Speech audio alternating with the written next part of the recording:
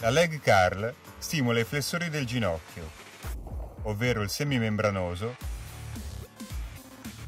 il semitendinoso, il bicipite femorale e il gastrocnemio.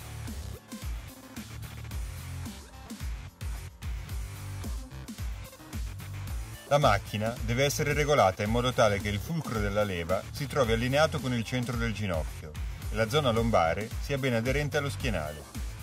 Da questa posizione si esegue una flessione del ginocchio. Durante l'esecuzione è bene mantenere il piede a martello per evitare un'eccessiva stimolazione del gastrocnemio. L'allineamento del rachide non deve subire variazioni. La posizione seduta limita la possibilità che si verifichino dei compensi Tuttavia, i soggetti meno esperti, che eccedono nella selezione del carico, cercheranno di aiutarsi attraverso l'estensione dell'anca.